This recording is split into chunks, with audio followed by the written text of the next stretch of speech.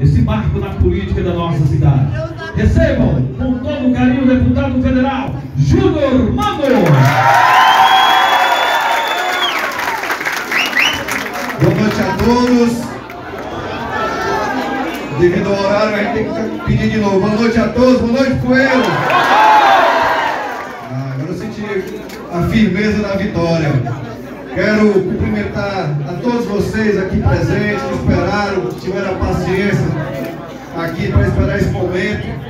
Acredito que hoje isso, esse evento seja o pontapé inicial, se Deus quiser, uma pré-campanha vitoriosa de Neném Cazuza, pré-candidato a prefeito, até o dia 2 de outubro, Neném. Eu tenho certeza que Ipueiras merece, Ipueiras terá de volta a esperança e a dignidade das pessoas. E serei Neném, nas minhas palavras. Mas aqui quero cumprimentar a todos os vereadores aqui em nome do presidente Carlito, que está aqui presente. Quero cumprimentar aqui a, os amigos, os vereadores que vieram de Nova Rússia também aqui nos prestigiar. Em nome dos vereadores, cumprimentar meu tio aqui, o Sebastião Mano, que está aqui presente.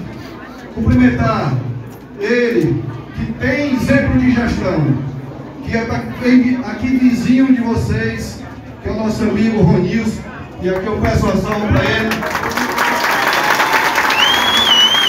Ronilson é uma pessoa simples, que tem feito muita coisa, muita coisa boa para o município de Croatá e vem aqui somar também no município. E prefeito Neném, aqui eu também eu trago a mensagem, as palavras que hoje não deu para ela vir aqui, que é aniversário da mãe, da mãe dela, da minha sogra, que é a Jordana Mano, que que está junto aqui nesse projeto junto com vocês.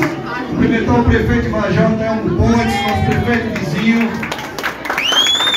Cumprimentar ele, que é companheiro antigo, amigo de vocês aqui em Poeiras, há bastante tempo, que é o Jeová Moto, sempre presente, sempre votado aqui no município.